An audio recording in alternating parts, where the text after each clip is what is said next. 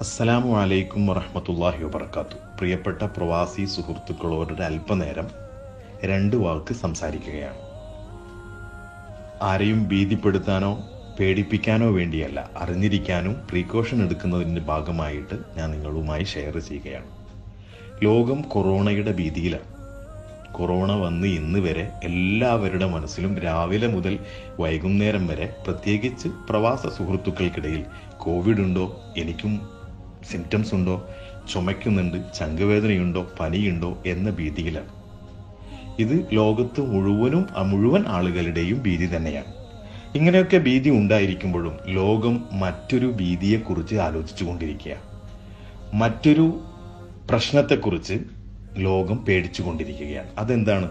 ലോകരാഷ്ട്രങ്ങളിൽ വരുന്ന അല്ലെങ്കിൽ ലോകം മുഴുവനും സാമ്പത്തികമായ മാറ്റങ്ങൾ കുറി മാറ്റങ്ങളെ കുറിച്ച് ആലോചിക്കുക ലോകം ഈ കോവിഡ് നയന്റീന് ശേഷം post Covid financial economic changes in the world എന്താണ് ലോകത്ത് നടക്കാനിരിക്കുന്ന സാമ്പത്തിക മാറ്റങ്ങൾ? നമ്മൾക്കറിയാം ലോകരാഷ്ട്രങ്ങളൊക്കെ അവരുടെ സാമ്പത്തിക പ്ലാനിങ് ഫൈനാൻഷ്യൽ പ്ലാനിങ് അതുപോലെ തന്നെ എക്കോണോമിക് ബജറ്റുകളെ കുറിച്ചൊക്കെ ആലോചിച്ചു കൊണ്ടിരിക്കുകയാണ് മാറ്റങ്ങൾ വരുത്തിക്കൊണ്ടിരിക്കുകയാണ്. എവിടെയൊക്കെ വെട്ടിക്കുറയ്ക്കാൻ പറ്റുന്നു പറ്റുമോ അവിടെയൊക്കെ വെട്ടിക്കുറയ്ക്കാൻ വേണ്ടി തയ്യാറെടുത്തുകൊണ്ടിരിക്കുകയാണ്. കാരണം കേവലം ഒരു മൂന്ന് മാസത്തോളമായി കോവിഡ് നയന്റീൻ കാരണമായി സാമ്പത്തിക മേഖലയിൽ വന്ന അസന്തുലിതാവസ്ഥ അതിനെ മാനേജ് ചെയ്യാനും ബാലൻസ് ചെയ്യാനും വേണ്ടി എവിടെയൊക്കെയാണോ സാമ്പത്തികമായി കോസ്റ്റ് കുറയ്ക്കാൻ പറ്റുന്ന മേഖലയെക്കുറിച്ച് ലോകരാഷ്ട്രങ്ങൾ ചിന്തിക്കുന്നതോടൊപ്പം മൾട്ടിനാഷണൽ കമ്പനികൾ പ്രത്യേകിച്ച് ജി സി സി പോലെയുള്ള രാജ്യങ്ങളിലൊക്കെ സെറ്റ് ചെയ്ത് ഇൻവെസ്റ്റ് ചെയ്ത മൾട്ടിനാഷണൽ കമ്പനികളും അവരുടെ ഇൻവെസ്റ്റ്മെന്റ് എവിടെയൊക്കെയാണോ ഭദ്രമാക്കാൻ പറ്റുന്നതും അവരുടെ എവിടെയൊക്കെയാണോ ഈ മൂന്ന് മാസത്തെ ഫൈനാൻഷ്യൽ ഇമ്പാക്റ്റ് വന്ന ആ സാഹചര്യത്തെ മാത്രമല്ല ഇനി വരാനിരിക്കുന്ന സാമ്പത്തിക പ്രയാസങ്ങൾ കൂടി എവിടെയൊക്കെ സേഫാക്കാൻ പറ്റുമോ എന്ന് ചിന്തിക്കുന്നതിന്റെ ഭാഗമായി അവരുടെ കോസ്റ്റ് കുറയ്ക്കുക ചെലവ് കുറയ്ക്കുക എന്നതിന്റെ ഭാഗമായി പലരും വർക്ക് അറ്റ് ഹോം അതുപോലെ തന്നെ റിമോട്ട് വർക്കിംഗ് അതുപോലെ തന്നെ പാർട്ട് ടൈം വർക്ക് അതുപോലെ തന്നെ പല മേഖലയും ആവശ്യമില്ലാത്ത മേഖലയെ ആ ഡിപ്പാർട്ട്മെന്റിനെ തന്നെ വെട്ടിക്കുറയ്ക്കുക പോലത്തെ പല പദ്ധതികളും ആവിഷ്കരി ആവിഷ്കരിച്ചു കൊണ്ടിരിക്കുന്ന ഒരു സമയമാണിപ്പോൾ ഇവിടെ ലോകാടിസ്ഥാനത്തിലുള്ള കാര്യങ്ങൾ മാറ്റിവെച്ച് കഴിഞ്ഞാൽ ഒരു സാധാരണഗതിയിലുള്ള പാവം പ്രവാസിയെ സംബന്ധിച്ചിടത്തോളം ഒരു ആവറേജ് വരുമാനം ശമ്പളം പറ്റി ജീവിക്കുന്ന ഒരു പ്രവാസിയെ സംബന്ധിച്ചിടത്തോളം നമ്മൾ ഇത്തരം കാര്യങ്ങളൊന്നും അറിയാതിരുന്നാൽ നമ്മുടെ ജീവിതത്തിൽ സംഭവിക്കാൻ പോകുന്ന അൺഎക്സ്പെക്റ്റഡ് ആയിട്ടുള്ള എന്തെങ്കിലും ജോലി നഷ്ടപ്പെടുകയോ സാലറിയിലുള്ള റിഡക്ഷൻ വരികയോ സാലറി ചേഞ്ച് വരികയോ ഒക്കെ ചെയ്യുമ്പോൾ നമ്മൾ പാനിക് ആവാതിരിക്കാൻ നമ്മൾ പേടിക്കാതിരിക്കാൻ നമ്മൾ ഇപ്പോൾ അറിഞ്ഞിരുന്ന് പ്രവർത്തിക്കേണ്ട ചില കാര്യങ്ങൾ ഞാൻ നിങ്ങളുടെ മുന്നിലേക്ക് അവതരിപ്പിക്കുകയാണ്. ആദ്യമായിട്ട് നമ്മൾ മനസ്സിലാക്കേണ്ടത് ഇന്ന് പ്രവാസ സഹോദരന്മാർ എവിടെയാണ് അവർ സാമ്പത്തികമായി ദുർവിനിയോഗം ചെയ്യുന്നത്? അല്ലെങ്കിൽ അവരറിയാതെ അവരുടെ സമ്പത്ത് വിനിയോഗിക്കുന്നത് എവിടെയാണെന്ന് പറയാം. നമുക്കറിയാം ഇന്ത്യൻ എക്കോണമി തകിടം മറിഞ്ഞ് ഒരു ദിർഹം യു എയിലുള്ളവർക്കാണെങ്കിൽ ഒരു ദിർഹം ഇരുപത്തിയൊന്നും ഇരുപത്തിരണ്ടും രൂപയുടെ വാല്യൂവിൽ എത്തിയപ്പോൾ പലരും കടം വാങ്ങിക്കൊണ്ടും മറ്റുള്ളവരിൽ നിന്ന് കടം വാങ്ങിയവരുണ്ട് കമ്പനിയിൽ നിന്ന് ലോൺ എടുത്തവരുണ്ട് അല്ലെങ്കിൽ ക്രെഡിറ്റ് കാർഡ് മുഖാന്തരം ലോൺ എടുത്തവരുണ്ട് അല്ലെങ്കിൽ പേഴ്സണൽ ലോൺ ബാങ്കിൽ നിന്ന് എടുത്തവരുണ്ട്. ഇവരൊക്കെ ഇവർക്കിത് ജോലിയിൽ നിന്നും തിരിച്ചടയ്ക്കാൻ പറ്റുമോ എന്ന് പോലും ആലോചിക്കാതെയായിരുന്നു ലോൺ എടുത്ത് നാട്ടിലേക്ക് പൈസ അയച്ചത്. അതേ സ്ഥാനത്ത് ഈ എടുത്ത ലോൺ തിരിച്ചടയ്ക്കാൻ ഉള്ള ജോലി ഉണ്ടാകും എന്ന പ്രതീക്ഷ ആയിരുന്നു. എന്നാൽ തന്നെ തികയുമോ? അത് തിരിച്ചടയ്ക്കാൻ കഴിയുമോ എന്നതിൽ ആശങ്കയുണ്ടായിരുന്ന ആളുകൾക്ക് മുന്നിലാണ്. ഇപ്പോൾ ഈ ഒരു സാഹചര്യത്തിൽ ജോലി നഷ്ടപ്പെടുന്നു സാലറി കുറയുന്നു അൺപെയ്ഡ് ലീവ് വരുന്നു ഈ ഒരു സാഹചര്യം വന്നിട്ടുള്ളത്. ഇത് പല ആളുകളുടെയും ഒരു പ്രശ്നമാണ് പ്രവാസികളുടെ ഒരു പ്രശ്നമാണ്. അതുപോലെ തന്നെ അനാവശ്യമായ പദ്ധതികളിൽ പ്രൊജക്റ്റുകളിൽ ഇൻവെസ്റ്റ് ചെയ്തിട്ടുണ്ട്. നാട്ടിലാണെങ്കിലും ഇവിടെയാണെങ്കിലും. മറ്റൊന്ന് നമ്മുടെ ജീവിത രീതി തന്നെ നമ്മൾ മാറ്റിമറിച്ചു. നമുക്ക് എന്താണ് ആവശ്യം അത്യാവശ്യം അനാവശ്യം എന്നറിയാതെ അനാവശ്യമായ കാര്യത്തിന് കൂടുതൽ പൈസ ചെലവഴിക്കുകയും ആവശ്യമായ അത്യാവശ്യമായ കാര്യങ്ങളിൽ ചെലവഴിക്കാതിരിക്കുകയും ചെയ്തു. അതുപോലെ തന്നെ സാമൂഹികമായ അനാചാരങ്ങളെ നമ്മൾ ക്രിയേറ്റ് ചെയ്തു. നാട്ടിലാണെങ്കിലും ഇവിടെയാണെങ്കിലും ഒരുപാട് അനാചാരങ്ങൾക്ക് വേണ്ടി അമിതമായി നമ്മൾ പൈസ ചെലവഴിച്ചു. നമുക്ക് വേണ്ടത് നമ്മുടെ മോഹങ്ങൾക്ക് വേണ്ടിയായിരുന്നു. അങ്ങനെ നമ്മുടെ മനസ്സിലുള്ള മോഹങ്ങൾക്ക് വേണ്ടി ഒരുപാട് പണം ചെലവഴിച്ചു കൊണ്ടിരിക്കുകയാണ് ഇപ്പോഴും. നമ്മുടെ ജീവിതത്തിൽ ജീവിതത്തിൽ നിന്ന് മാത്രമല്ല സമൂഹത്തിൽ തന്നെ ഒരു ഇംബാലൻസ്ഡ് ആയിട്ടുള്ള ഒരു എക്കോണമിയാണ് ഇപ്പോൾ നിലനിൽക്കുന്നത് ഈ ഒരു സാഹചര്യത്തിൽ പ്രവാസിയുടെ പണം എവിടേക്ക് പോകുന്നു എന്ന് ചിന്തിക്കേണ്ടത് തന്നെയാണ്. കേരളത്തിനെ മാത്രമല്ല ഇന്ത്യ രാജ്യത്തെ തന്നെ എടുക്കുമ്പോൾ ഇന്ത്യ രാജ്യത്തിലേക്ക് നൺ റെസിഡൻസിന്റെ പണം വന്നതിൽ ഏറ്റവും കൂടുതൽ പണം പോയിരിക്കുന്നത് ജി സി സി രാജ്യങ്ങളിൽ നിന്ന് തന്നെയാണ്. അപ്പൊ ഇനി നമ്മൾ എവിടെയാണ് ശ്രദ്ധിക്കേണ്ടത്? ഈ ഒരു സാഹചര്യത്തിൽ പ്രവാസി ശ്രദ്ധിക്കേണ്ട ചില കാര്യങ്ങൾ പറയുകയാണ്. അതിൽ പ്രധാനമായിട്ടൊന്നും ഒന്ന് നമ്മുടെ സാമ്പത്തികമായി നമ്മുടെ ഇൻവെസ്റ്റ്മെന്റിൽ നമുക്ക് കിട്ടുന്ന ശമ്പളത്തിൽ ഒരു ശതമാനം നമ്മുടെ ആരോഗ്യത്തിന് വേണ്ടി ഇൻവെസ്റ്റ് ചെയ്യണം എന്ന് തന്നെയാണ്. അതിനുവേണ്ടി പണം മാറ്റി വെക്കണം. അതൊരു അതൊരു സേഫ് ഇൻവെസ്റ്റ്മെന്റ് ആക്കി മാറ്റണം. കാരണം ഈ കോവിഡ് നയന്റീൻ വന്ന് പലരെയും കോവിഡ് പോസിറ്റീവായ പേഷ്യന്റുകളെ വിളിച്ചപ്പോഴും അതല്ലാതെ ക്വാറന്റൈനിലും ഐസൊലേഷനും ഉള്ളവരുമൊക്കെ സംസാരിക്കുമ്പോൾ അവരുടെയൊക്കെ ഒരു ഇരുപത് ശതമാനമാണ് കോവിഡ് നയന്റീനെ കുറിച്ച് പേടിയെങ്കിൽ മറ്റു പേടി കിടക്കുന്നത് അവരുടെ കയ്യിൽ റൂമിന് കൊടുക്കാൻ പണമില്ല. അതല്ലെങ്കിൽ അവർക്ക് ഭക്ഷണം പുറത്തുനിന്ന് വാങ്ങിക്കാനുള്ള പണമില്ല. കയ്യിൽ ലിക്വിഡ് ക്യാഷ് ഒന്നുമില്ല. കാരണം ഉള്ള പൈസ മുഴുവനും നാട്ടിലെ റേറ്റ് കുറഞ്ഞു കണ്ടപ്പോൾ നാട്ടിലേക്ക് അയച്ചിരിക്കുകയാണ്. സ്വന്തം ആരോഗ്യം നോക്കാൻ ഒരു മെഡിസിൻ വാങ്ങാൻ പോലും പണമില്ലാതെ ബുദ്ധി ബുദ്ധിമുട്ടുന്ന അനേകായിരം പ്രവാസികൾ നമ്മുടെ ഇടയിലുണ്ട് എന്നതൊരു യാഥാർത്ഥ്യമാണ്. അപ്പം ഇത് തിരിച്ചറിഞ്ഞുകൊണ്ട് ഇനി വരാനിരിക്കുന്ന കാലത്തെങ്കിലും നമ്മുടെ ആരോഗ്യത്തെ സൂക്ഷിക്കാൻ വേണ്ടി ഒരു പണം നമ്മൾ കണ്ടെത്തണം കാരണം പണമില്ലാതാകുമ്പോൾ ആരും നമ്മെ ശ്രദ്ധിക്കാനോ നമ്മെ നോക്കാനോ ഉണ്ടാവുകയില്ല എന്ന് നമ്മൾ തിരിച്ചറിയണം. രണ്ടാമത് നമ്മളുടെ ജീവിത സാഹചര്യം തന്നെ ക്രെഡിറ്റ് ഓറിയന്റഡ് ആണ്.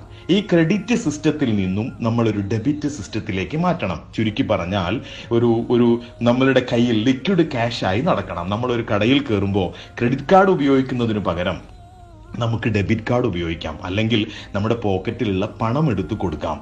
ഈ പോക്കറ്റിൽ അത്യാവശ്യമായിട്ട് പണം വെക്കുകയാണെങ്കിൽ തീർച്ചയായും നമ്മുടെ മനസ്സ് ഫോക്കസ് ചെയ്യുകയും നമ്മുടെ കണക്ക് ഓട്ടോമാറ്റിക് ആയിട്ട് നമ്മുടെ മനസ്സിലുണ്ടാവുകയും ചെയ്യും. അപ്പോൾ ഈ ക്രെഡിറ്റ് സിസ്റ്റത്തിൽ നിന്നും അതുപോലെ തന്നെ എന്തെങ്കിലുമൊക്കെ ഒരു പദ്ധതി കാണുമ്പോൾ എന്റെ കയ്യിൽ നിന്ന് പണമില്ലെങ്കിൽ എനിക്ക് ലോൺ എടുക്കാമല്ലോ അല്ലെങ്കിൽ എന്റെ ക്രെഡിറ്റ് കാർഡ് യൂസ് ചെയ്യാമല്ലോ എന്ന ആ ചിന്താഗതി മാറ്റിയെടുത്ത് എന്റെ കയ്യിലുള്ള പണം കൊണ്ട് ജീവിക്കാൻ നമ്മൾ മനസ്സ് പഠിക്കുകയും മനസ്സിലാക്കുകയും വേണം. അതുപോലെ തന്നെ നമ്മുടെ ജീവിതത്തിൽ അത്യാവശ്യം അനാവശ്യം ആവശ്യം ഇതിനെ തിരിച്ചറിഞ്ഞ് ആവശ്യത്തിനും അത്യാവശ്യത്തിനും പ്രയോറിറ്റി കൊടുത്ത് അനാവശ്യത്തിന് പ്രയോറിറ്റി കൊടുക്കാതിരുന്ന് പരമാവധി അനാവശ്യ കാര്യങ്ങളെ ജീവിതത്തിൽ നിന്ന് ഒഴിവാക്കാൻ വേണ്ടി പഠിക്കുക. അങ്ങനെ നമ്മൾ പഠിക്കുമ്പോൾ നമുക്കതിനെ കാറ്റഗറൈസ് ചെയ്യാം. അതനുസരിച്ച് നമുക്ക് നാട്ടിലേക്ക് പോകുമ്പോഴും അതല്ലെങ്കിൽ ഇവിടെയൊക്കെ ഉള്ള സമയത്ത് പർച്ചേസിങ് ചെയ്യുന്ന സമയത്ത് പർച്ചേസിങ്ങിനെ നമുക്ക് കാറ്റഗറൈസ് ചെയ്യാൻ പറ്റും. ഇതുപോലെ തന്നെ നാട്ടിലുള്ളവരോടും പറഞ്ഞ് മനസ്സിലാക്കി കൊടുക്കണം. എന്താണ് ജീവിതത്തിൽ ആവശ്യം അനാവശ്യം അത്യാവശ്യം? അത്യാവശ്യത്തിന് വേണ്ടിയാണ് പണം ചെലവഴിക്കേണ്ടത് എന്ന് നമ്മൾ നമ്മുടെ വീട്ടുകാരെ പറഞ്ഞ് മനസ്സിലാക്കി കൊടുക്കുന്നതിന് പുറമെ അവരോട് അവരോടും നമ്മളോടും നമ്മൾ ചെലവഴിക്കുന്നത് മുഴുവനും വരുന്ന വരവും ചെലവ് എവിടെയാണെന്ന് എഴുതി വെക്കാൻ പറയണം. വീട്ടിലുള്ളവരോട് എഴുതി വെക്കാൻ പറഞ്ഞാൽ അറ്റ്ലീസ്റ്റ് നമുക്ക് നമ്മുടെ പണം എവിടെയാണ് ഒഴുകുന്നത് എന്ന് എവിടേക്കാണ് ചെലവഴിക്കുന്നത് ഒരു മാസം ഇന്ന ഫീൽഡിൽ എനിക്ക് എത്ര ചെലവുണ്ട് എന്നെങ്കിലും നമുക്ക് അറിഞ്ഞിരുന്നാൽ അടുത്ത ആറു മാസത്തേക്ക് ഒരു ഫോർകാസ്റ്റ് ചെയ്യാൻ എസ്റ്റിമേഷൻ ചെയ്യാൻ നമുക്ക് സാധ്യമാകും. ഒരു സാധാരണ പ്രവാസി ചെയ്യേണ്ട അത്യാവശ്യ കാര്യങ്ങളെ കുറിച്ചാണ് ഞാൻ പറയുന്നത്. ഇനി ഞാൻ അടുത്തു പറയുന്നത് അവന്റെ ജോലിയുമായി ബന്ധപ്പെട്ടാണ്. ഇപ്പോൾ പലരും ലോക്ക്ഡൗണിലാണ്. ഇനി വരാനിരിക്കുന്ന സാഹചര്യം ഒരു ആറു മാസം എങ്ങനെയാണെന്ന് ആർക്കും പ്രവചിക്കാൻ കഴിയില്ല. അപ്പോൾ ഒഴിവ് സമയങ്ങളിൽ നമ്മുടെ ജോലി റിലേറ്റഡ് ആയിട്ടുള്ള സ്കിൽ സെറ്റ് സമ്പാദിക്കുന്നതിന് വേണ്ടിയിട്ട് അല്ലെങ്കിൽ ക്വാളിഫിക്കേഷനോ എക്സ്പീരിയൻസോ ഓൺലൈൻ കോഴ്സുകളോ സോഫ്റ്റ്വെയർ കോഴ്സുകളോ സമ്പാദിക്കുന്നതിന് വേണ്ടിയിട്ട് ഈ ഒഴിവ് സമയം ചെലവഴിക്കുകയും ഓൺലൈൻ മുഖാന്തരം ഒരുപാട് കോഴ്സുകൾ ഇന്ന് ലഭ്യമാണ്. കോവിഡ് ആയതുകൊണ്ട് തന്നെ പല ഇൻസ്റ്റിറ്റ്യൂഷനുകളും അവരുടെ ഓൺലൈൻ കോഴ്സുകൾ റെഡ്യൂസ്ഡ് റേറ്റ് ഓഫർ പ്രൈസിനാണ് കോഴ്സുകൾ കൊടുക്കുന്നത്. അപ്പോൾ ഈ ഒരു സമയത്ത് നമുക്ക് ജോലി നഷ്ടപ്പെടുമ്പോൾ തന്നെ ഫർദർ ഓപ്പർച്യൂണിറ്റി എന്ന നിലയ്ക്ക് നമുക്കൊരു മൾട്ടി കരിയർ മൾട്ടി പ്രൊഫഷണൽ നമുക്ക് ഉണ്ടാക്കാൻ പറ്റും. മറ്റു ഫീൽഡിലും നമുക്ക് ജോലി ചെയ്യാൻ പറ്റുന്ന രൂപത്തിൽ നമുക്ക് മൾട്ടി ഓറിയന്റഡ് കരിയർ നമുക്ക് ഉണ്ടാക്കിയെടുക്കാൻ ഈ ഒരു സമയം കൊണ്ട് ചെയ്യാൻ പറ്റും. അതുപോലെ തന്നെ പാർട്ട് ടൈം ജോലി സാധ്യതകളെ കുറിച്ച് നമുക്ക് അന്വേഷിച്ച് പാർട്ട് ടൈം പ്രത്യേകിച്ച് പല ജി സി സി രാജ്യങ്ങളിലും പാർട്ട് ടൈം ജോബ് അനുവദിച്ചിട്ടുണ്ട്. അപ്പോൾ നിലവിലുള്ള എംപ്ലോയറിൽ നിന്നും നോ അബ്ജക്ഷൻ സർട്ടിഫിക്കറ്റ് വാങ്ങിച്ച് ഒഴിവു സമയങ്ങളിൽ വീട്ടിരുന്നു കൊണ്ടോ അതല്ലെങ്കിൽ അവരുടെ ഓഫീസിൽ പോയിക്കൊണ്ടോ ജോലി ചെയ്യാൻ പറ്റുന്ന പാർട്ട് ടൈം ജോലികളെ കുറിച്ച് കണ്ടെത്താം. മറ്റൊരു കാര്യം പ്രധാനമായി മനസ്സിലാക്കേണ്ട മറ്റൊരു കാര്യം നമുക്ക് നമ്മുടെ ശമ്പളത്തിൽ നിന്നും ഒരു ചെറിയ ശതമാനം മാറ്റിവെച്ച് നമ്മുടെ ജോലി ഇല്ലെങ്കിലും നമുക്ക് ഫിക്സഡായി ലഭിക്കാവുന്ന ഒരു ഇൻകം ഫിക്സഡ് ഇൻകം എന്തുകൊണ്ട് ഉദ്ദേശിക്കുന്നത്? ഫിക്സഡ് ഡെപ്പോസിറ്റിൽ നിന്നും കിട്ടുന്ന ഇൻട്രസ്റ്റിനെ കുറിച്ചല്ല ഞാൻ പറഞ്ഞത്. മറിച്ച് നമുക്ക് വിശ്വസിക്കാൻ പറ്റുന്ന ഒരു കച്ചവടത്തിൽ നിന്നും സ്ഥിരമായി വരുമാനം കിട്ടുകയാണെങ്കിൽ ജോലിയിൽ നിന്ന് കിട്ടുന്ന ശമ്പളത്തിന് പുറമേ അതൊരു ആശ്വാസമാവുകയും അതൊരു നീക്കിയിരിപ്പാക്കുകയും നീക്കിയിരിക്കാൻ പറ്റുകയും ചെയ്യും.